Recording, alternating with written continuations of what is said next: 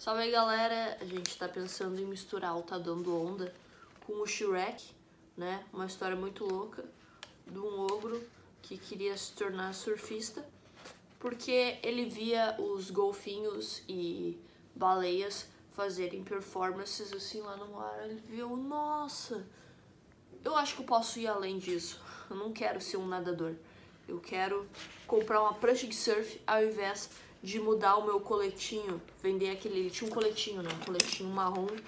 Ele precisava vender aquele coletinho marrom quando ele chegou na praia e colocar um colete, um colete laranja para ele se tornar de fato uma pessoa banhista lá naquela região. Só que o lance era que os coletes eram feitos de pele de abelha. E aí, sim, as abelhas se doavam, né, para elas se tornarem pranchas de surf. Aí as carcaças das, das abelhas era prancha de surf e a pele virava coletinho salva-vidas. É tipo aquela galera que doa sua pele para tatuar, assim, tal.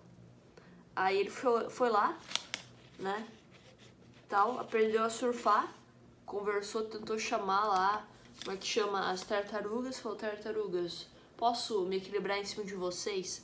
Aí ele chamou uma das tartarugas ninja, né?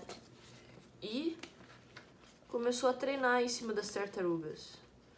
Aí chegou um momento que as tartarugas queriam voltar para suas famílias, queriam reproduzir a sua espécie e fazer uma maratona de tartaruguinhas pelo mar.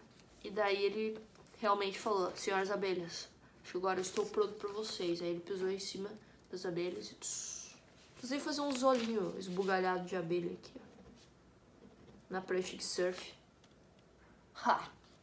Mano, essa história é fera, uma história super fantástica do Shrek, que deixou de frequentar castelos para salvar princesas, para salvar pessoas no mar.